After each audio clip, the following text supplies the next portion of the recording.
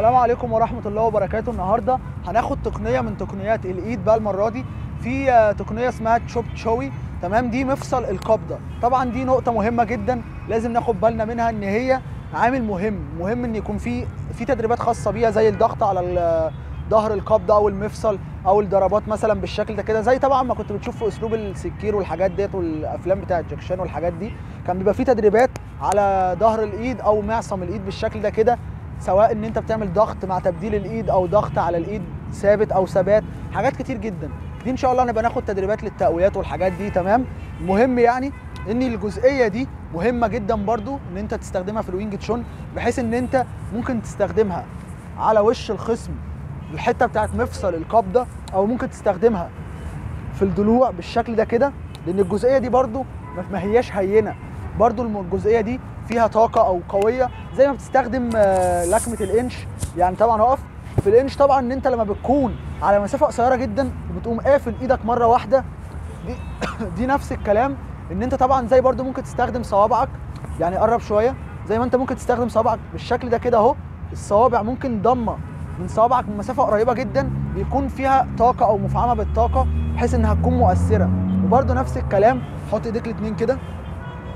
نفس الكلام أو حطهم كده حطهم كده. تمام؟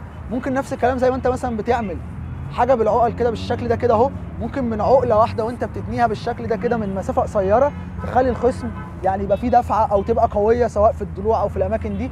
برضو الجزئية دي لو أنت ثابت بالشكل ده كده أعمل تاني. لو أنت بالشكل انزل شوية. لو أنت بالشكل ده كده أهو بص يعني ثبت إيدك جامد. أنت ممكن من مسافة قصيرة بالدفعة تخلي الخصم اللي قدامك يعني إيه؟ لو في مكان في الضلوع أو في المعدة في منطقة فم المعدة أو مثلا على وش الخصم بالشكل ده كده الجزئية دي بتكون مؤثرة في الضلوع في أي مكان.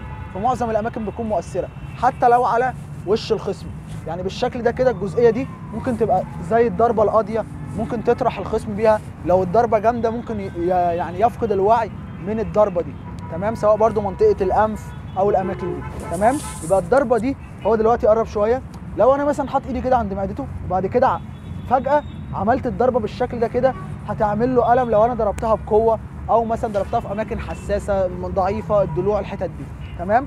يبقى طبعا هنا ممكن لو الخصم بيهاجمني بانش قمت أنا مستخدمها بالشكل ده كده على وش الخصم تمام؟ ممكن أستخدمها في منطقة الضلوع بالشكل ده كده تمام؟ يبقى دي ليها تأثير برضو ليها أكتر من استخدام. ممكن أستخدمها بالشكل ده كده أهو ضربة سهلة جدا ممكن إن أنا أضربها بس يكون ليها تأثير قوي على الخصم.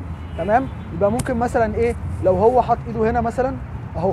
فجأة أنا عملت الدفعة كده قمت طالع مرة واحدة أهو. طالع بالشكل ده كده بالمنطقة دي.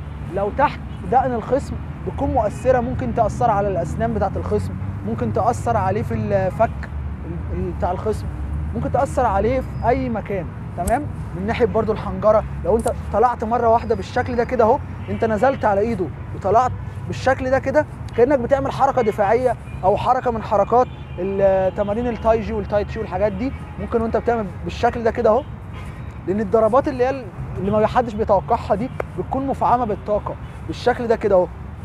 بتكون مفعمة بالطاقة إن انت لو استخدمتها كده هتأثر على الخصم بقوة تمام؟ يبقى انت ممكن تستخدم الضربة دي في أكتر أماكن الضلوع ممكن تستخدمها على وش الخصم ممكن في منطقة الدقن ممكن تستخدمها يعني مثلا إيه تستخدمها على دراعه بس دي بتبقى حاجات بعد تدريب لو هتستخدمها في أماكن يعني ممكن تتحمل الضربات دي في الدراع والحاجات دي.